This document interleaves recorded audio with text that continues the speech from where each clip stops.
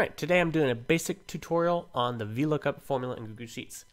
So here's the basic structure of the VLOOKUP formula as per Google. So we start with a search key, and search key is what you're searching for. The range is where you're searching for that key in.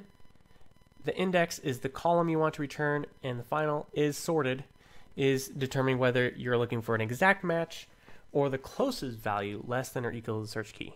So we'll get to, get to that and explain that here in a moment. One thing to note is you can only return a column to the right of the search column.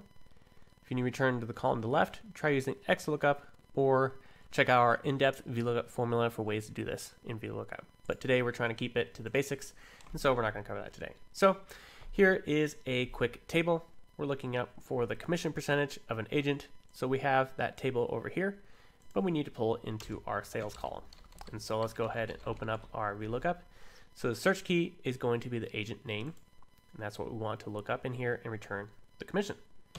So now the range is going to be the source data, and I want to drag this down, so I'm going to go ahead and lock this so this these cell references don't change. All right, the index is going to be the column, so the column one would be C, or the agent. That's where, where I'm looking. Uh, I don't actually want to turn the agent name. I want to turn the commission, which is going to be column 2. And I do want an exact match, so I'm going to use false. And this autofill is going to work just fine because I locked those cell references. So here we go. We have those commission percentages pulled in just like that.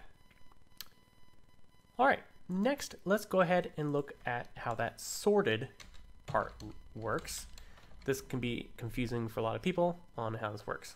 So this one, we have a numeric range between 0 to 399, 400 to 599, and so forth to determine member level.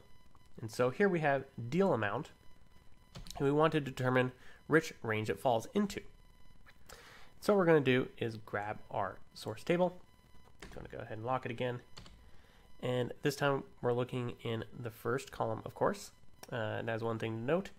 Um, whatever range you specify, the search key is going to be looking in that first column.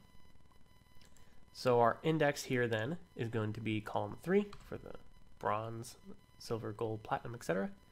The last thing we need to do is instead of false, we need to do true. So we are sorting this.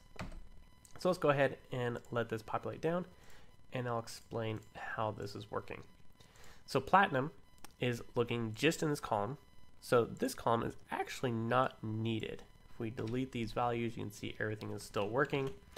So it's only looking in this column, and that's why we start with zero.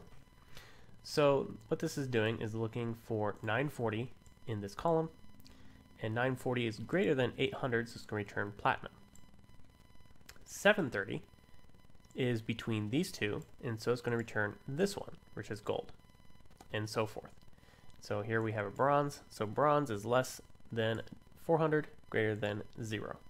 Now if we change this to 300, this one's going to return an error because it's not finding anything less than um, 270 in the table. So that's one thing to note, and it's a thing that's often confusing for people. So hopefully that helps you if you just structure your table like this, and then you can use your sorted VLOOKUPs to find out where this falls in there. And this could be uh, a member level, it could be a percentage commission even, um, kind of what we're doing in the last one. All right, finally, so people look at the numbers and sorting, and they're like, well, what happens if I have a number, but I need to find the exact number? Well, all you got to do then is just do a simple VLOOKUP. We'll do this here. Let me go ahead and lock that. Two. And then all we need to do then is use false instead of true. And then it'll go ahead and find that just like that. All right, that is it for today. Tune back again soon for more formula basics and Google Sheets.